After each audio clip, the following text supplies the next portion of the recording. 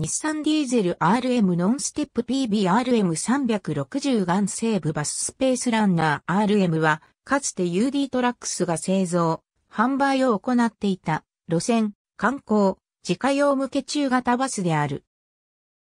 大型短尺車のカテゴリーにおいて、かつて日産ディーゼル工業は1973年まで 4R82 型を、また日産ディーゼルからエンジンの供給を受けていた日産自動車も U690 型を生産、販売していた。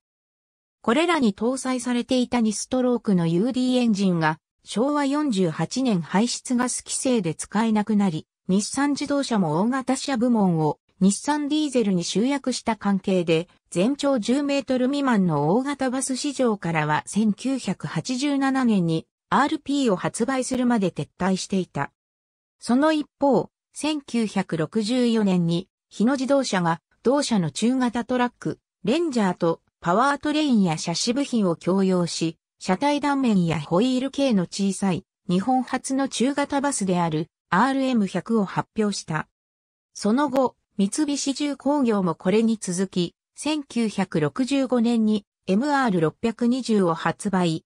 さらに BA 系など9メートルクラスの大型バスに強みを見せたい鈴自動車も1972年に BK で参入する。当初これらは自家用が主な販路であったが、ローカル路線のダウンサイジングを図るため、路線用に起用されることが多くなった。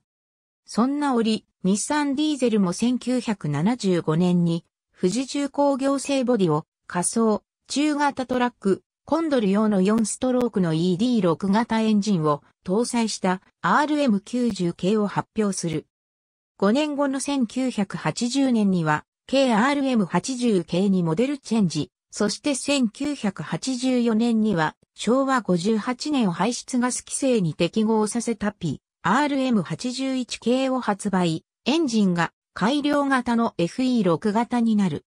この系列のエンジンは2005年に KKRM252 系が生産終了するまで21年間の長きにわたり RM に搭載されることになる。1988年には西日本車体工業製ボディの RB80 をラインアップ。RM とともにオプションで AT 車が設定される。さらに、1992年10月には、西日本鉄道の路面電車を代替することになり、西高生 UJM210 のホイールベースを延長して全面的に置き換えた。これが後に JP として市販化、新たなカテゴリーを築くに及んだ。中型ワンステップバスは1989年から RB80 に追加、JP では国内初の車椅子上公用スロープ板を備え、バリアフリーという言葉の認知度がまださほど高くなかった時期から優しさを追求していたことは賞賛に値する。1998年11月には国内初の中型ノンステップバスを発表。圧縮天然ガス車との組み合わせもいち早く展開するなど、同社のバス作りのノウハウが凝縮されている。ただ、路線使用者が着実にシェアを拡大する一方で、もともと同社は大型を含めて観光使用者の開発、反則活動が苦手とされており、観光系の導入実績は低く、徐々にラインアップが縮小されて、現在に至っている。RM90-1975 年発売。ボディはモノコックの R14 系を仮装、エンジンは軽ル室式の ED6、KRM80-1980 年、昭和54年排出ガス規制に対応して改良。エンジンが直接噴射式の FD6 に変更される。1982年から車体は R16 系となる。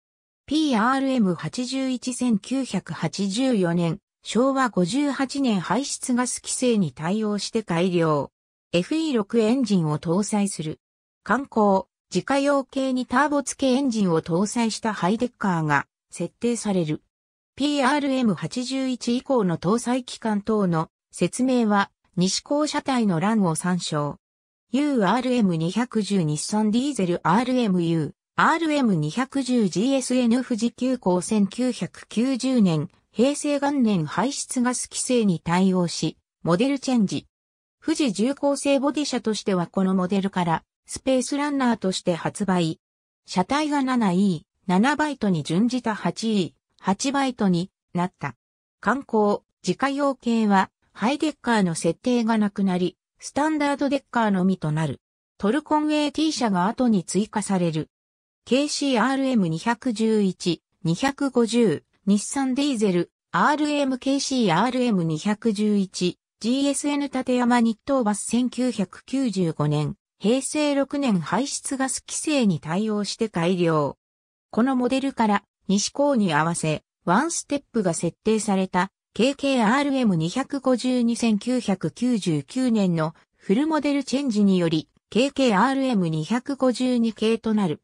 車体は富士重工の 8E、8バイトで 8E では2001年中頃より各所に改良が施された R18 系の最終型車体が仮装されている。ステップは1ステップと2ステップのみ選択可能。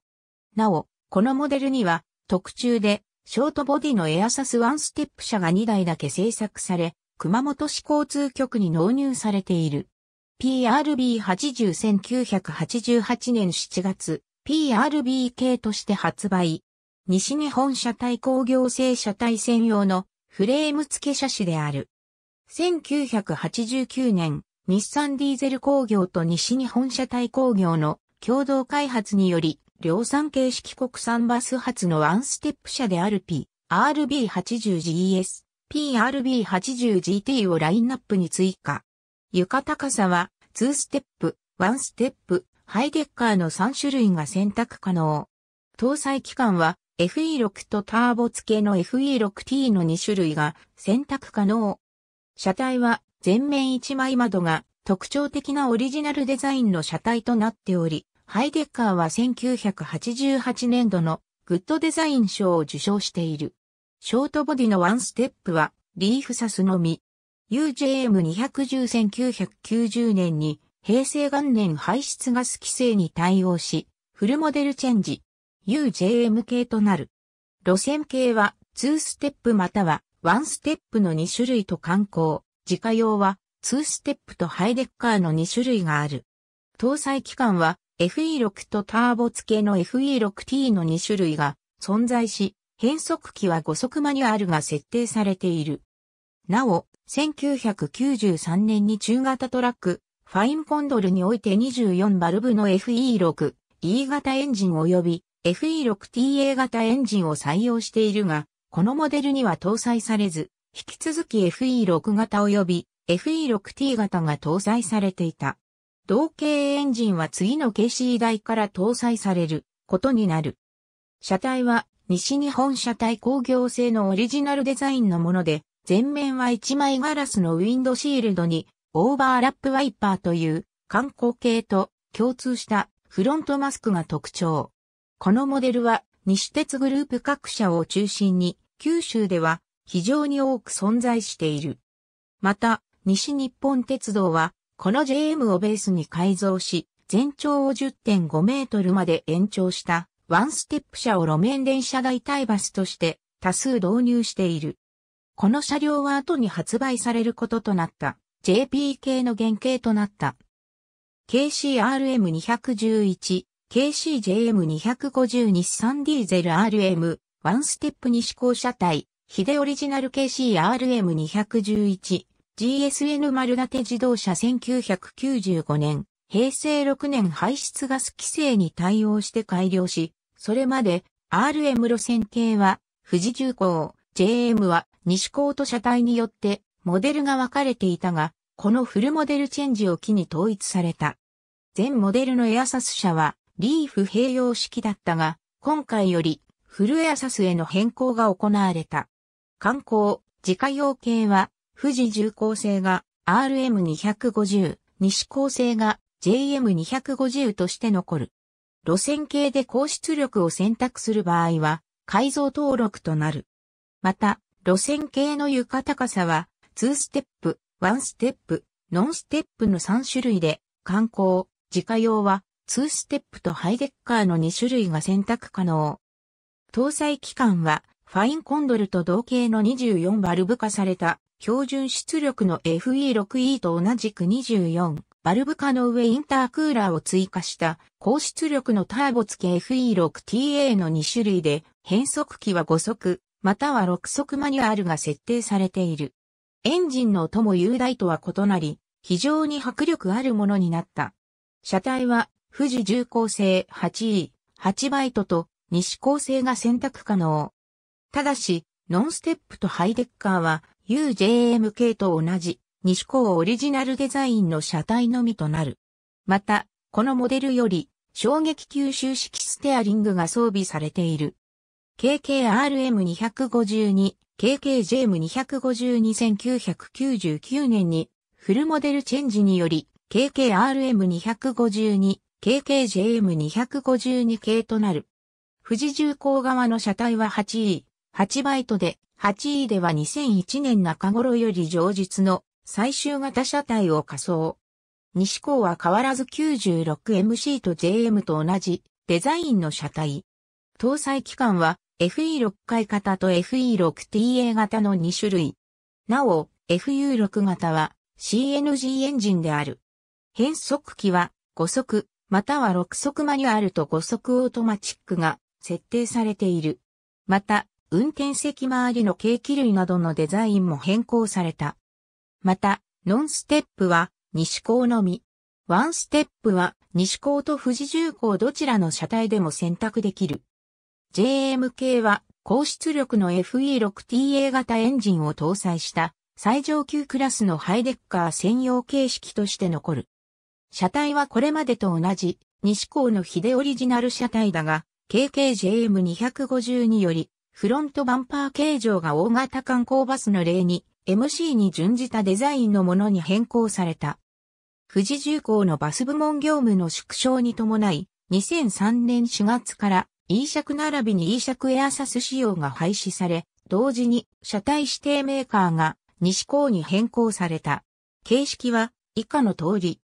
PBRM360-2004 年にフルモデルチェンジにより PBRM 系となる。搭載機関は今回から自社開発を中止し、日野自動車からエンジン供給を受けている。平成16年短期規制75%低減を達成した直列後気筒インタークーラーターボ装備の J07 ETC 型1種類のみ。床高さはノンステップとワンステップ仕様の2種類が存在する。エンジンルーム通気口が上高扉側にあるのが特徴。PBRM 系から平成18年の透過機保安基準の改正に対応するため、リアコンビネーションランプが縦並びのものになり、先代とは全く異なるリアスタイルになった。また、観光、自家用仕様はハイデッカーの設定がなくなり、2ステップ標準床のみのラインナップになった。この観光、自家用仕様は、ホイールベースが 100mm 延長され、専用の H 尺となっている。車体はこれまで採用されてきたヒデオリジナルの車体から 96MC に変更され、大型の E2 に準じたスタイルとなっている。路線用と同じく搭載機関は J07ETC 型1種類のみで同じく縦型リアコンビネーションランプを装備する。排出ガス規制のため2007年8月で販売を終了し、次の車種が登場するまで4ヶ月ほど空白期間となる。PDG-RM820 スペースランナー RM ノンステップ PDG-RM820 ガンセーブバス2007年12月25日に PDG-RM820 系となった。新長期規制に適合し、基準に対して PM の10%減を達成している。排出ガス規制適合のため、全車種の販売終了から4ヶ月のブランクを置いての発表となった。この時期、日産ディーゼルは三菱不走トラックバスとバス製造事業において業務提携を開始しており、当車種は日産ディーゼルが設計を行っているため、西日本車体工業で車体が仮装される一方、エンジンは排出ガス後処理装置の再生制御式、DPF も含めて三菱不走から供給を受けており、三菱不走製 6M60 型エンジンを搭載する。この車種は2008年1月31日より三菱不装へエアロミディエスとして OEM 供給されている。ラインナップは前回の PBRM 系に引き続きノンステップ車、ワンステップ車の PDGRM820 ガンと自家用仕様の PDGRM820 半が国土交通省の認可を受けている。三菱不装供給分は、それぞれ PDGAR820 ガン、PDGAR820 半として国土交通省の認可を受けている。この台からリアコンビネーションランプが大きく変更され、三菱不装エアロミディ MK と同様のリアバンパー内蔵タイプとなっている。西日本車体工業での生産終了に伴い、2010年8月末をもって製造を終了した。本節では CNG バスについて特記することとし、ベース車との共通仕様については、ベース車節を参照のこと。当車種の CNG バスは KKRM252 系でのみ設定され、エンジンは FU6 型を搭載している。変速機は5速マニュアルと5速オートマチックが設定されていた。従来の 8E ボディにフロントガラス方向幕部分の一体ガラス化、運転席、側窓の四角枠化、リア通風口の形状変更、その他屋根剣部の微細な変更などが行われ、全体的にスマートになり、新 7E ボディに近いスタイルになったマイナーチェンジモデル。ロット式標準、フィンガーコントロールトランスミッションはオプションになっている。また、FCT 搭載車には、シフトインジケーター一体型のタコメーターが搭載されていて、次の KC 台まで採用された。ただし、大型の E2 と違い、フロントガラスの傾斜が少なく、その他はバンパー周りと、透過関係の変更にとどまっている。ありがとうございます。